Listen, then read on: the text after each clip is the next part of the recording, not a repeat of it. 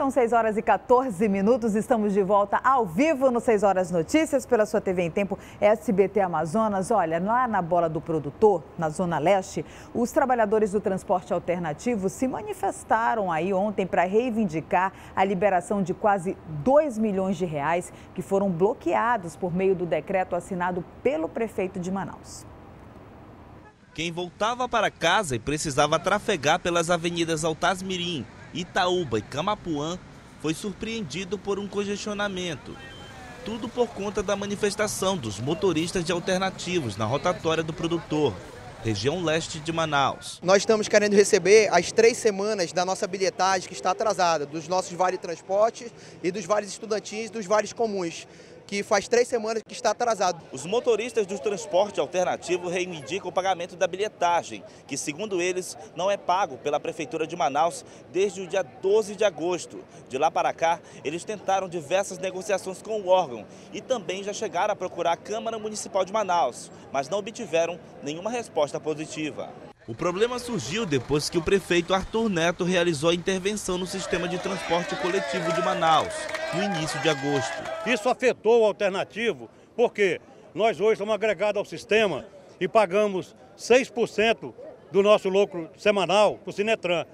A nossa média é 850 mil por semana e é descontado 6% para o Sinetran, e aí veio a intervenção e o nosso dinheiro ficou preso junto com o dele. Segundo a categoria, mais de 250 trabalhadores foram afetados pela intervenção. Hoje nós estamos trabalhando sem condições, é, são pais de família que estão sem condições de sustentar, as cooperativas estão trabalhando sem diesel, então nós estamos passando por bastante dificuldade. Em nota, a Prefeitura de Manaus informou que o bloqueio nos recursos do transporte coletivo oriundos do sistema de bilhetagem eletrônica foi necessário para promover o equilíbrio do sistema e ordenar a gerência financeira do modal, sobretudo no que se refere ao pagamento dos rodoviários.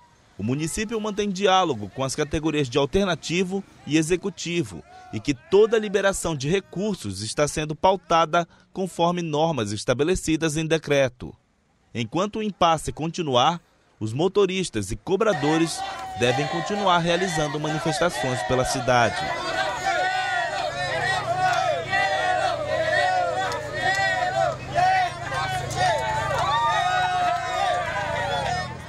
Nós mostramos aqui algumas ocorrências policiais, né? O que aconteceu aí nessa madrugada. Vamos saber o que aconteceu também nas primeiras horas da manhã de hoje. A Bárbara Mitoso está ao vivo comigo para trazer essas informações. Muito bom dia para você, Bárbara.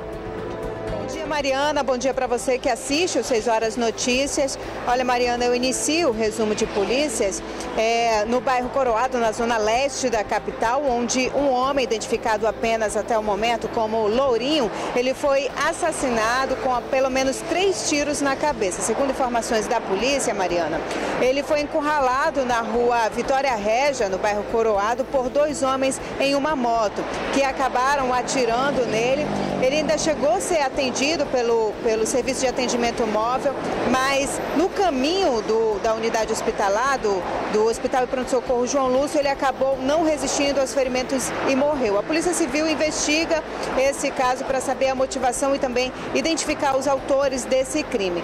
E em Benjamin Constant, Mariana, no interior do Amazonas, três homens foram mortos por policiais durante uma troca de tiros, na verdade, com a polícia. O que acontece? Os policiais ficaram sabendo que um vigilante vigilante havia sido baleado, ele estaria com a sua família, né, com a filha e com a, a esposa, e teria sido baleado por é, criminosos. Quando eles ficaram sabendo da morte do guarda municipal, então eles foram até uma invasão onde eh, os suspeitos estariam. Só que quando eles chegaram nesse local, eles foram recebidos com tiros e então iniciou-se aí essa troca de tiros onde acabou levando esses três homens a óbito. E na zona oeste da capital, no Parque São Pedro, Mariana, uma mulher foi morta com pelo menos três tiros. Ela, eh, Segundo a polícia, pode ter aí um envolvimento com o tráfico de drogas.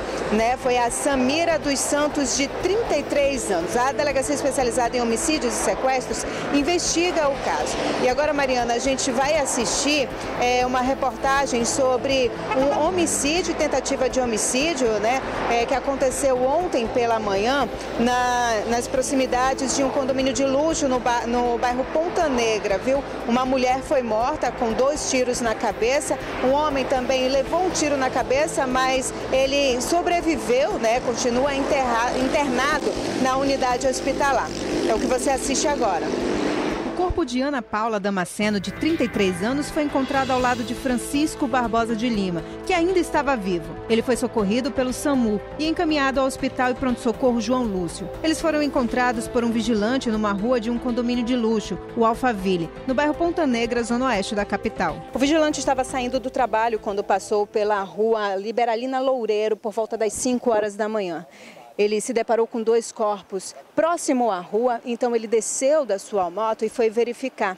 Constatou que se tratava de um homem e uma mulher e que o homem ainda estava vivo, mas gravemente ferido. Avistei os dois corpos jogados ali. Identifiquei a moça estava já em óbito e o rapaz estava mexendo a perna. Aí chamei meu colega, onde o mesmo já chamou a polícia. A polícia acredita que o casal tenha sido levado até o local para ser executado. É, não foi encontrado cartuchos né, no, no, local, mas dá a entender que a execução se deu aqui. Né? E aí a gente vai atrás de outros elementos, câmeras de segurança e saber se essas vítimas, né, a partir da qualificação, se elas eram envolvidas com o crime também. O corpo de Ana foi levado para o Instituto Médico Legal e Francisco permanece internado na unidade hospitalar. Pois é, Mariana, infelizmente aí mais um crime né, na nossa capital. E a Delegacia Especializada em Homicídios e Sequestros acredita que também é, tem alguma participação aí, motivação com o tráfico de drogas, alguma ligação com o tráfico de drogas. Volto com você, Mariana. Obrigada, Bárbara. Daqui a pouco eu volto contigo para mais informações, porque a gente continua ao vivo pelas ruas de Manaus com os nossos repórteres para trazer a notícia para você em primeira mão. Bota Cheyevna Nascimento para mim, que ela tem informação sobre o caso daquele estuprador, né? Um homem acusado de estuprar uma criança lá em Iranduba, né, Shei? Bom dia. Bom dia, Mariana. Bom dia para você que acompanha o 6 Horas de Notícia. É isso mesmo, Mariana. Ele teve a prisão decretada por estuprar uma criança de 10 anos. O nome dele é Manuel Santana Vale, de 48 anos. O que acontece? Segundo os familiares da criança, eles tinham uma relação muito aberta, cresceram juntos e eram bem próximos. Ele frequentava uma casa da família e falava para a criança não namorar com pessoas estranhas, de má índole, e acabava que ele estava abusando da criança já tinha alguns anos. Em maio deste ano, a criança de 10 anos é, reclamou para os pais que estava com assaduras. E eles marcaram uma consulta para a criança aqui na capital. Quando vieram ao UBS, descobriram que ela havia sido estuprada. Então, foi aí que a família teve o choque. A criança contou à mãe quem era que estava cometendo os abusos, que era o vizinho que tinha crescido com a família ali por perto e tinha uma relação de parentesco, né, Mariana? E acabou que os pais acionaram a polícia, que começou a investigar o caso e agora chegou às conclusões de que ele cometeu os abusos e teve a prisão decretada. Volto com você aí no estúdio. Obrigada, Cheia. Cheia está em deslocamento com a nossa equipe para trazer daqui a pouco mais informações para vocês. Mais uma vez, mães, pais, fiquem de olho nos seus filhos, né? Como pode, né? Uma criança dessa de 10 anos de idade aí reclamando que estava com assaduras, né? Uma criança inocente ainda, é, não, nem, nem sabe o que significa aí uma relação sexual ainda e é aí violentada brutalmente, né? Por um monstro desse, né? Tomara que se faça justiça aí, que ele possa pagar por esse crime terrível, né? Então, a gente mais uma vez, a polícia orienta também e a gente sempre fala aqui nos nossos telejornais para que os pais, a mãe principalmente, fique de olho nas suas crianças, principalmente nas meninas. As meninas, as crianças têm sido muito vítimas desses abusadores, né? Nos últimos dias a gente tem noticiado aqui, infelizmente, esse crime brutal quase todos os dias aqui no nosso estado. Então fica a dica aí para que as mães não deixem suas filhas sozinhas, para que as mães estejam de olho aí em que tudo que está acontecendo, porque os principais abusadores estão dentro da sua casa. E olha, um homem suspeito de matar o cunhado a facadas lá em Silves, no município eh, do Baixo Amazonas, foi preso aí nessa terça-feira. A família acredita que a irmã da vítima, olha só, foi quem teria ordenado esse assassinato. Vamos ver. Durante a apresentação do suspeito, houve tumulto na recepção da delegacia. Ele era cunhado da vítima. Os familiares não estão conformados com a situação. Oh, meu Deus! Oh, meu Deus! Existe justiça, meu Deus! Faça a sua justiça, meu Deus! Faça a sua justiça, meu Deus! Pedro Henrique da Silva Pinto, de 30 anos, foi preso nesta quarta-feira suspeito de assassinar o cunhado a facadas em agosto deste ano, em uma rodovia de Silves. Família! Ele desgraçou a vida da minha mãe!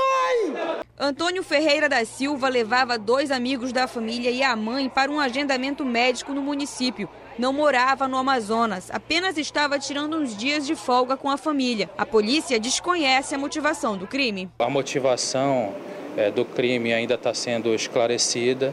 A gente não pode declinar ainda algumas situações para não atrapalhar o curso das investigações. No dia do crime, Pedro e comparsa seguiram Antônio. Eles bateram duas vezes no carro em que ele estava propositalmente para que ele perdesse o controle do veículo.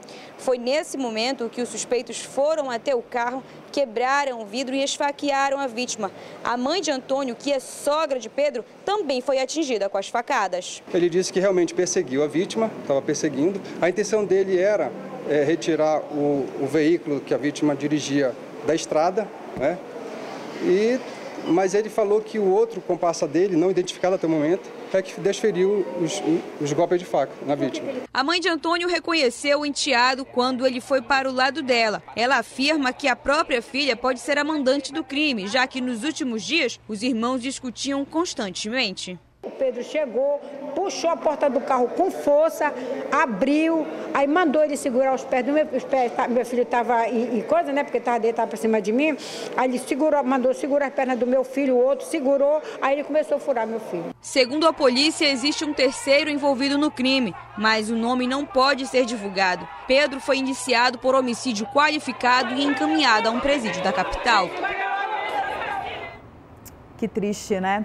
Bota para mim, Rayan, aí o WhatsApp para a gente saber quem é que está com a gente hoje, para as pessoas mandarem fotos, né? Eu quero te conhecer, saber de que bairro você está assistindo a gente, de que município do interior do Amazonas você está ligadinho no 6 Horas Notícias, está aí na sua tela, 99327-6649, 99327 6649 é o nosso WhatsApp e a gente já tem alguns telespectadores com a gente, né, produção? Vamos mostrar quem está com a gente nessa véspera de feriado? O Luan e o Joelson do Aleixo. Belezinha para vocês também. Obrigada. O Fred, é isso? Freden do Petrópolis, querido bairro da Zona Sul de Manaus. Olha a Adria do Centro, já toda bonitona de manhã. O Wendel do Santa Etelvina, bairro da Zona Norte de Manaus. Que linda! E Yasmin lá do Mauazinho também ligadinha com a gente. E o Eric do Adrianópolis também está ligadinho com a gente. Você continua mandando suas fotos para a gente te conhecer aqui e mostrar sua foto ao vivo. Olha, nessa edição a gente já mostrou aí que teve muita morte, infelizmente muita confusão, o terror lá na zona sul da capital, né? A gente teve aí outros casos de mortes e prisões também, inclusive envolvendo um advogado. E no próximo bloco os nossos repórteres vão mostrar os prejuízos do descarte irregular de lixo. Agora são 6 horas e 28 minutos. A gente volta já.